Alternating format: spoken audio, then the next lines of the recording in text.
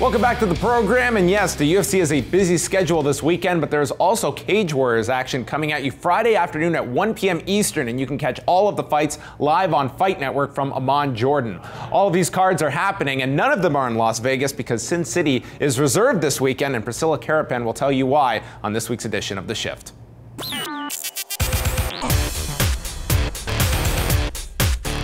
In the twisted neo-noir streets of Sin City, booze, broads, and bullets only come naturally.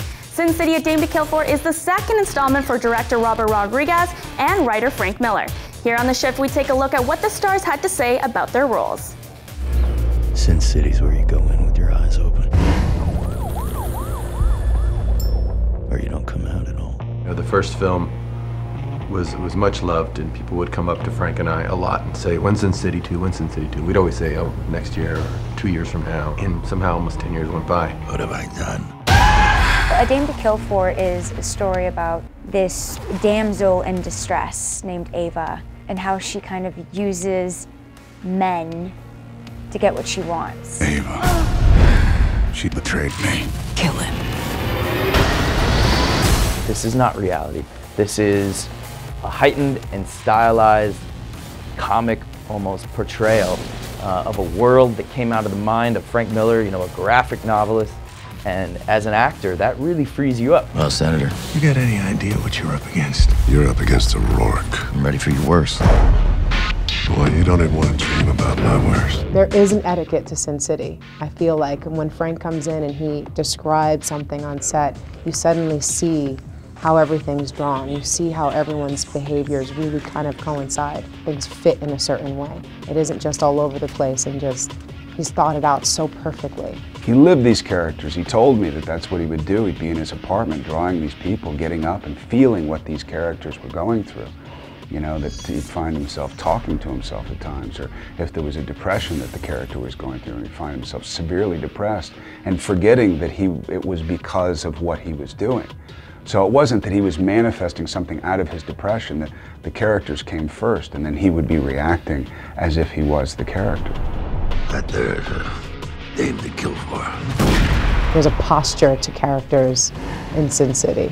They've got such a dignity to them. Everything that they do feels noble to them. They're on their right path. They're being honest and truthfully themselves. I'm gonna kill Roark. Count me in. Joseph Gordon-Levitt, like the best actors, teaches a director and a writer a lot. Because of what he brought, I was able to write dialogue I thought was much more focused and much stronger, and much more emotional.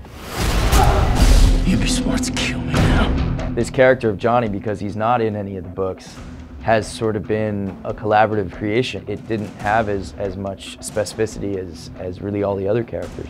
It's kind of cool to watch the guys work off each other. You know, Frank has this vision in his head that he wants to play out, and Robert is capable of, of bringing those visions to life. It's one of those situations where they finish each other's sentences. It's quite fantastic to watch.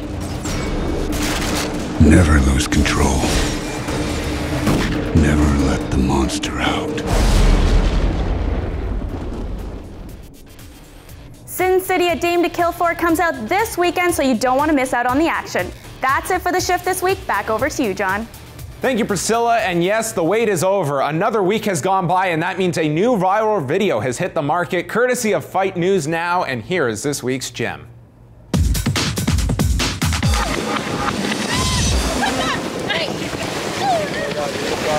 Oh